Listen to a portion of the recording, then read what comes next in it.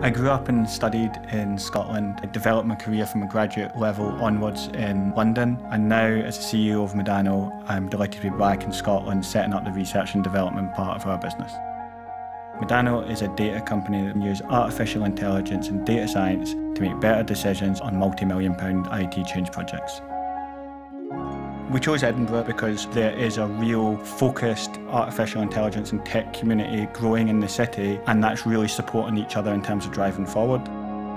The Scottish Government and their support agencies have been instrumental in making our transition easy, fast, and high impact.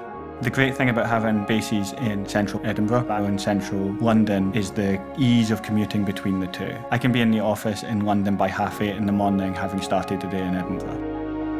We're very happy with our decision to set up a research and development team, and we've been pleasantly surprised at how easy it's been to recruit incredible talent.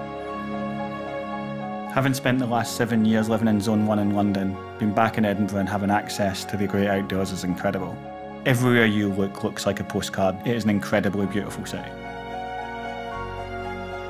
There seems to be a huge willingness to attract entrepreneurship into Scotland. There is a huge amount of support, there's a community, and there's a thriving client base. You can feel the buzz in terms of real belief that we can make a difference in the tech industry.